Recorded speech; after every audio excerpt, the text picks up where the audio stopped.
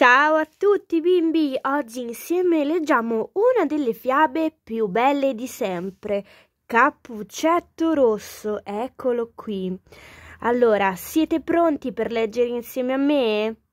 E allora io vi ricordo che se anche voi volete avere questo libricino a casa vostra potete trovare giù in descrizione il link per acquistarlo direttamente da Amazon, ma mi raccomando chiedete sempre prima a mamma e a papà. Ora siete pronti? Benissimo, eccoci qui. Cappuccetto rosso. C'era una volta una bambina che abitava in una casetta nel bosco. La chiamavano Cappuccetto Rosso perché indossava sempre un cappuccio rosso. Un giorno la mamma chiamò la bambina e le disse Vai a trovare la nonna che è malata. Portale questa torta, ma stai attenta, non fermarti per la strada, così non farai brutti incontri, aggiunse ma la bambina dimenticò presto i consigli della mamma e si attardò lungo il sentiero per cogliere dei fiorellini profumati da portare alla nonna. A un certo punto sentì un, fruscire, un fruscio venire dagli alberi. Improvvisamente un grosso lupo saltò fuori da un cespuglio. Eccolo qui. Dove vai, bella bambina? chiese il lupo. Vado a portare questa torta alla nonna, che è malata. Abita alla fine del sentiero, disse la bambina. Facciamo una gara? propose il lupo. Vediamo chi arriva per primo alla casa della tua nonna. Tu continuerai su questo sentiero e io farò una strada più lunga, così sarai avvantaggiata. La bambina accettò e si avviò lungo il sentiero. Il lupo, che era molto astuto, conosceva però una scorciatoia e arrivò subito alla casetta della nonna.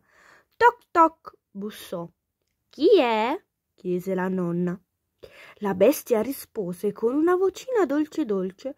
Sono Cappuccetto Rosso e ti ho portato una torta. Tira il paletto ed entra, disse la nonna, senza sospettare nulla. Il lupo entrò e in un sol bolcone mangiò la vecchietta. Eccola qui.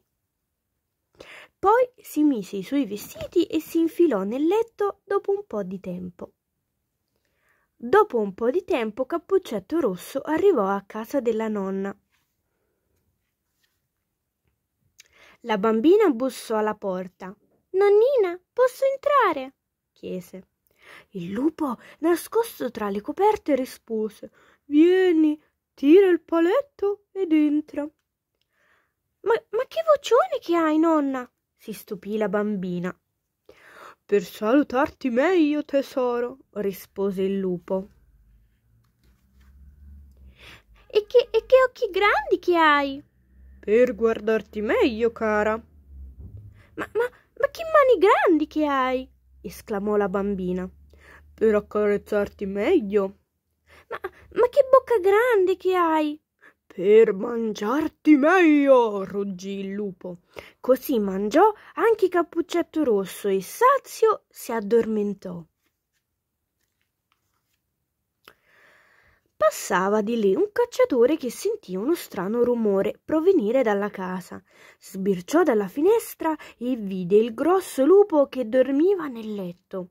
Allora prese il fucile, sparò al lupo e poi con un coltello aprì la pancia della belva e sorpresa!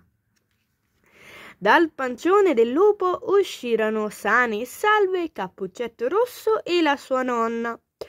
Grazie per averci salvate, mormorò la vecchietta, che per gioia di vedere la nipotina guarì subito. E la bambina, felice, promise di non disubbidire mai più alla mamma. Fine. Allora, vi è piaciuta la storia di Cappuccetto Rosso? Se sì, io vi lascio giù il link in descrizione per acquistare anche voi il libricino e mi raccomando lasciate un pollice in su. Noi ci vediamo prestissimo con un altro video e un'altra fiaba. Ciao!